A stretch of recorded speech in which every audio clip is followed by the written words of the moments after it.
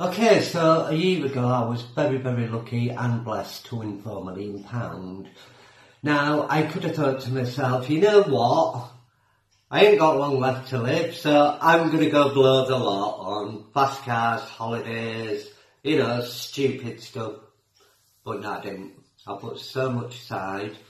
And then I bought me and my partner a nice house, nice car, and then with the rest, I wanted to treat people, you know, the ones who had been there for me throughout everything.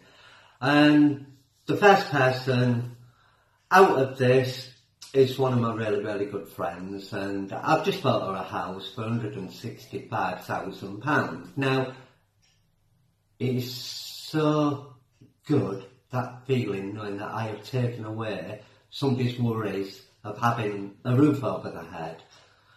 Now, what comes next? I know I'm going to get a lot of hate and I'm going to have a lot of people saying to me, why not me, why not them, etc. And all I'll say to that is, just be careful because only I know what comes next and who is going to get something next. So before you start ranting, just be careful. It's up to you. But one of the things I do know is um, I need to earn some money now, so I better look at a business opportunity next time I and get some cash rolling in so I can treat other people. But to my friend, enjoy.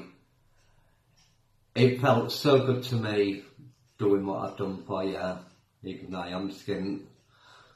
You'll have to take me to dinner now.